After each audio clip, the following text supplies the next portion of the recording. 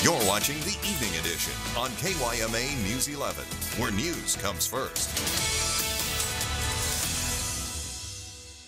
Continuing with our coronavirus coverage, at the peak of the pandemic, one organization stepped in to help with the nation's blood shortage. The Civil Air Patrol is the U.S. Air Force's civilian auxiliary, and when the pandemic struck, it engaged Operation Pulse Lift, a nationwide effort to resupply the blood supply. With more than 36,000 emergency responders, the Civil Air Patrol has been leading charge in gathering donations. The nonprofit has three basic functions, aerospace, education, emergency services, and their cadet program, which teaches future leaders humility.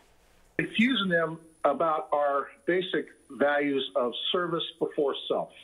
You know, showing them that you know they are individuals that have the capability and capacity of both patriotism and service to both the nations and their community.